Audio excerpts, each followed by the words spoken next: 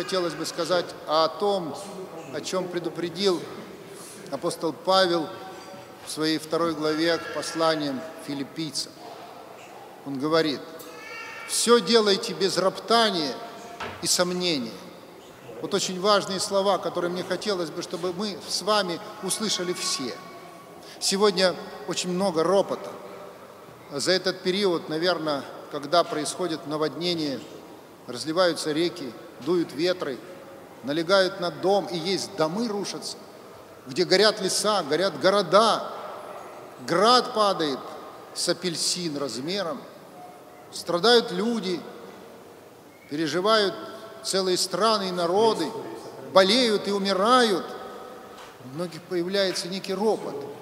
А куда смотрит Бог? А что, разве он не может это все остановить?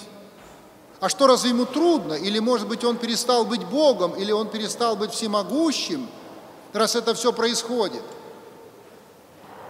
Ну, давайте вспомним, почему произошел всемирный потоп. И увидел Бог, сказано в священной книге Бытия, что велико развращение человеков, и раскаялся Бог, что сотворил их.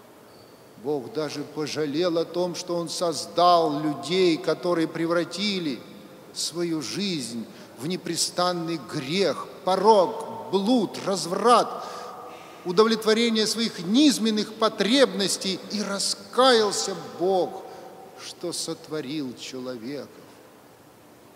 Нам это ни о чем не говорит, что все, что происходит вокруг нас по грехам нашим, а люди снова говорят, нет, мы сейчас установим всевозможные какие-то эвакопункты, мы все загладим, заасфальтируем, потом все залечим и снова будем грешить, а не поднимаем глаз своих к небу. Больше того, мы сейчас ропщим на то, что жарко, как же это все перенести. Мы ропщим на то, что у многих чего-то не хватает, чего-то нет, а чего-то очень хочется, а нет. Но мне хотелось бы привести вам сегодня, дорогие, один пример – на минувшей неделе мне довелось послужить в Ставропольской епархии в храме целителя Пантелеймона. Возглавлял эту божественную литургию владыка Феофилакт, Пятигорский и Черкесский. Вот мы служили божественную литургию в этом храме, куда перед службой привезли на коляске молодого парня. Лет ему было 18. И помню, как сейчас он, его подвезли к этой колонне, а потом его сняли с коляски и положили на пол. У него не просто нет ног, у него маленькие ножки, они не ходят. То есть на ноги он встать не может. И он лежал всю литургию на маленьких ножках. Вот просто лежал. Вот мы все стоим, молимся, мир всем, мы кланяемся, мы крестимся, стоим, крутимся по сторонам, о чем-то вспоминаем, о чем-то просим, нам все чего-то не хватает, а этому парню, думал я, чего не хватает? Но вы знаете, что поражало, это заметили многие, какая вера была в его глазах. Вот на него смотришь, посмотришь на простого стоящего, у него глаза какие-то смурные, отчаявшиеся, ропщущие, сомневающиеся. А у этого такой свет в глазах – он лежит без ног на, на каких-то, знаете, как игрушечные ножки, они у него болтаются. А сам так радостно в царские врата смотрит, с такой верой смотрит, что происходит в святая святых, еще и других. Обнимает к нему, подходит и молится. И вы знаете, это заметили все. И когда после литургии вышел Рахирей на проповедь, он об этом сказал, потому что не заметить этого парня было невозможно. И он сказал, я видел сегодня юношу, который молился в нашем храме. И сколько было веры в его глазах. Ведь он был укором мне, сказал архиерей. Потому что и я тоже думаю, вот это у меня не так, вот этого мне не достает, вот этого мне мало. А вот смотрю на этого парня, а ему всего хватит. У него такая вера в глазах, а он лежит без ног. на колясочку посадили и повезли домой. Вот, дорогие братья и сестры, я привел вам и себе этот пример, чтобы мы никогда не роптали, когда нам вдруг жарко. Ты можешь взять в руки, может, что-нибудь и сделать себе прохладу. Ты можешь пройти, принять душ, свободно перейти через свою ванну и включить холодную воду. Ты можешь ее напиться, она у тебя есть. Открой холодильник, у тебя там есть что. А вот этому парню. И вот что он будет есть, что пить, не заботится. Господь его и питает, и люди подносят, и привозят, и радость у него на глазах, которую нельзя было не увидеть, не заметить и не увести с собой. Вот я увез радость в глазах этого парня с собой – и думаю, обязательно я вам расскажу об этой радости. Радости человека без ног, который с такой радостью ходит в храм, простите, его приносит.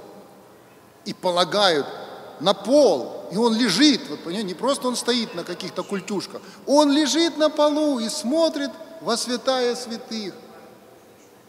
И не заметить его, или забыть его взгляда, веры, надежды на Бога, что все будет хорошо – нельзя. Вот вспоминайте этого парня, когда вам что-то очень захочется, когда вам чего-то будет не хватать, когда в чем-то вы будете роптать, потому что дьявол, по словам святителя Анна Златоуста, чтобы отклонить нас от добрых дел, от подвига веры, сначала всевает в нас гордость, потом тщеславие, а потом, если видит, что эти орудия нас не поражают, насылает на нас ропот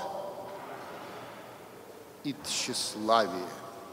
Вот откуда все. Ропот, оказывается, он не самобытен, он от врага рода человеческого. И вот есть такие недовольные, все ему плохо, все ему не так, все ему не то, политики не те, семья не такая, жена не такая, там дети плохие, тут такие, все плохо, все плохо. А есть те, которые говорят, слава тебе, Господи, за все. Вспомните Иова, многострадального. Как он-то страдал, Господи, себя рядом вспомнишь. Да у меня, у меня рай на земле по сравнению с ним. Болел себя, снимал черепками гнойные раны. И не роптал, и говорил, Бог дал и здоровье, и благополучие, и дом, и детей. Забрал, Бог дал, Бог и взял. Буди имя Господне благословенно отныне до века.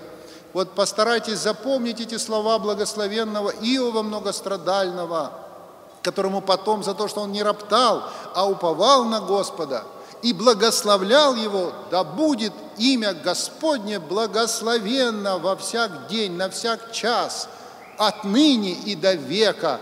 И за это Бог ему в книге Иова написано а это священное писание, которое все Бога вдохновенно возвратил ему и дом, и детей, и жену, и имение. Вот, дорогие, будем, по слову апостола, все творите без роптания и сомнения. Взялся за дело, не ропщи, не получилось, ну не сумел, подучусь. Трудитесь, не ленитесь, надо трудиться, дорогие братья и сестры, и молиться.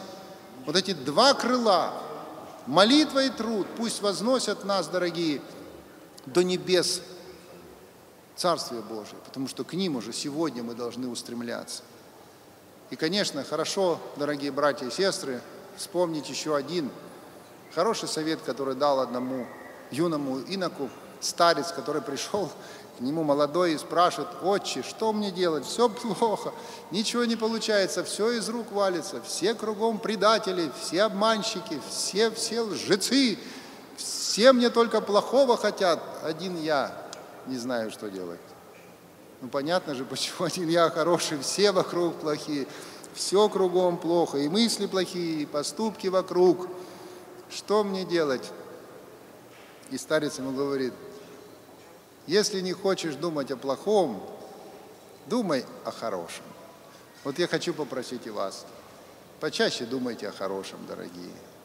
Вот несите, братья и сестры, в этот мир, лежащий во зле, мир христианский, любовь в свое сердце, понимание всего того, что происходит, и с терпением преодоления всего того, что мы видим вокруг происходящего. Без роптания и сомнения, с упованием на Господа нашего и Иисуса Христа, воскресшего из мертвых, которому с Отцем и Духом вечная и благая слава. Аминь.